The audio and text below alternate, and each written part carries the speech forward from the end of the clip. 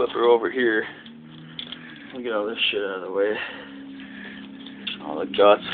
We save them for the dude coons back in Madison, dude.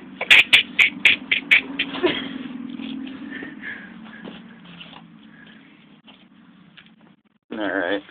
Look at that meat. Bright white meat. We'll get that blood off. I do here now. The board's a little slippery. It is. I'm gonna get these rib bones out to start. If I can hold there. Here, you want me to? Yeah. Here we go. Got a little leverage on this whole whore. I'm just gonna slide the knife underneath that.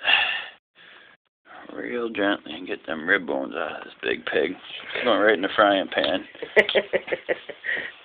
Get my drift, folks. Be a little whiskey and a little northern pike for dinner tonight. Oh, yeah. There we go. Now what we have left is what they call the rib bones. And we will be getting them out of here with the small fillet knife. Clean that blood off so you can see what you're working with here a little bit. Kind of like, you know, your first time fingering a woman. You get a little blood on your fingers, not really a big deal. You lick it off. Okay, so you just glide your knife. Ooh, this knife's a little dull. So we'll throw that off to the side. We'll get the big knife off. Just glide along them bones. Oh, yeah. Get it at an angle and slide it right along. Man, See them bones in there, Doug? yeah, I see him.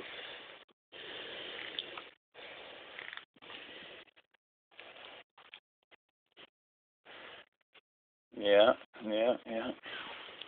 Oh yeah, alongside of them till you get right to the outside edge of the fillet, and they basically end down here towards the tail. Well, either way, they get pretty small down there. Right. Oh yeah, nice clean boneless fillet. I'll put my knife at this angle here, right underneath that set of bones. Get right in between them, huh? Yeah.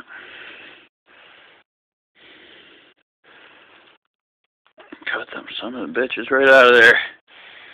It's almost like skinning the goddamn coon. If you get my drift. I get your drift. We are down in Iowa County, folks. Grab this bastard like this. If you're pretty good, they'll pull right out. It's like so. Take your knife. Under the Y bone. It actually tastes pretty good raw, too. You get on the left. A little chewy, but I not too bad for I a fresh, get- fresh. I get your drift. Perfect. So, that's it. That's it, folks. Oh my god.